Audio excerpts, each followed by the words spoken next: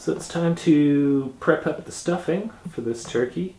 So when I was a kid, I used to hate stuffing and uh, didn't understand what the big deal was. Then I learned how to make my own stuffing from scratch, and now I'm a convert. Uh, I guess when I was a kid, people were always making stovetop stuffing, which is a pre-mixed stuffing you can get from the store, and it's really quite vile, in my opinion.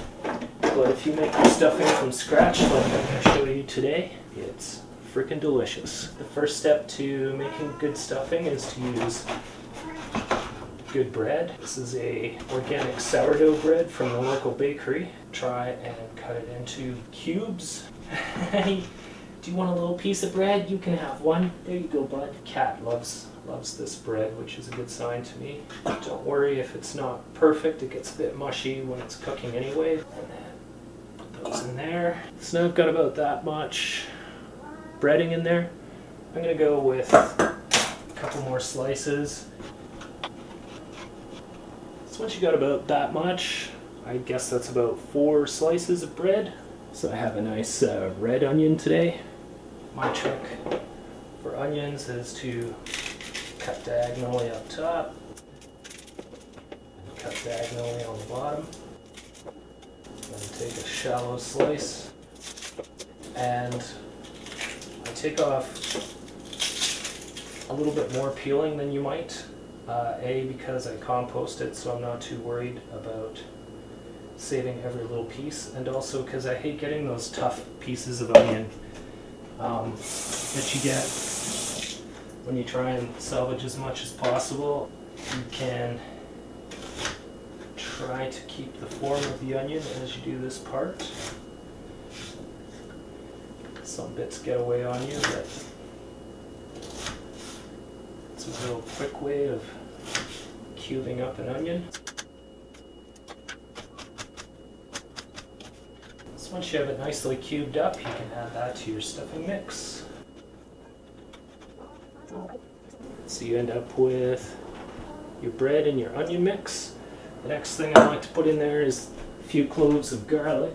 I'm going to use all those. Quickest way to peel garlic is to give it a light crush with the edge of your knife. That one is already peeled. Don't go overboard here, don't like mash the ever-living life out of it. Just give it a light crush and then the peels usually come right off for you. I like to give them a quick rinse under the cold water, then take off the stem bits. Then slice them.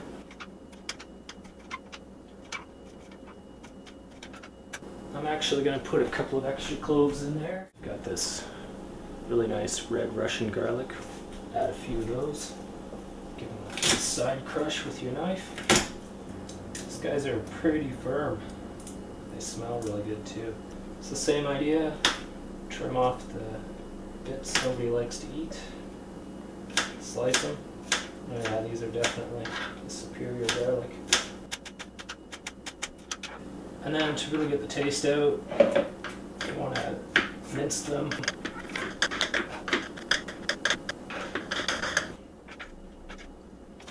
So we're looking like that. We've got our cut up bread, our cut up uh, onion, and our cut up garlic in there. Next, what I like to put in there is some celery. That should do. There's our washed celery. Again, because I compost, I'm okay being a bit aggressive here. I don't like to get the uh, woody, stringy bits in there as much. Oh, there's one for the monster that lives between the cupboard and the stove. Let's take the bases off, take the tops off. Just go for the high grade. Bigger ones I like to carve down the middle. Cut them in half basically. Smaller ones are fine. So they're all nice and small like that. Throw that into your mix. And there's how we're looking now. There's the usual suspects, my uh, beloved Himalayan pink rock salt. In this case, Savory is good. Black peppercorns. So I like to put in some sage. And I also like to put in poultry seasoning. Roughly a teaspoon of both. And then finally, I like to add just a little bit of olive oil. Give it a toss like you're making a salad. Just try and get all those spices evenly mixed in there. Then you end up with something like that. What we're going to do is we're going to stuff that hole full of our stuffing.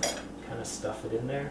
Try not to get too much in the bottom of your pan. If you get some in there, it's okay, but later when you're trying to baste the turkey, if there's all kinds of bread chunks, soggy bread chunks in the bottom, it can be really hard to pick up the fatty fluids because they clog the baster. Try and make sure that you get not only the bread, but also the chunks of stuff that go to the bottom so you don't end up with a whole bunch of bread and nothing else. First few times I did this, I just crammed the stuffing in there, but I've learned don't do that because if you make it too dense, uh, the center is actually the hardest to cook on a turkey.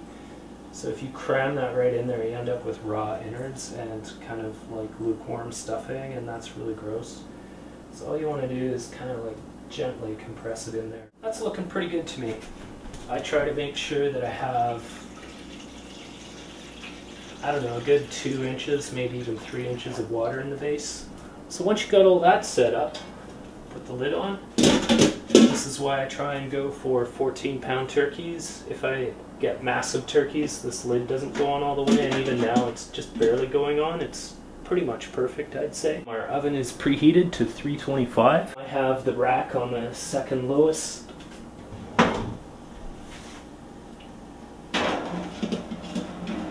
Just put that in there so it's centered. Set yourself a timer for half an hour. Every half hour I like to baste it. Some people say you don't have to do it every half hour. I find if I do it every half hour, I make the most delicious, soft, tasty, moist turkey, and everyone loves it. Thank you for watching.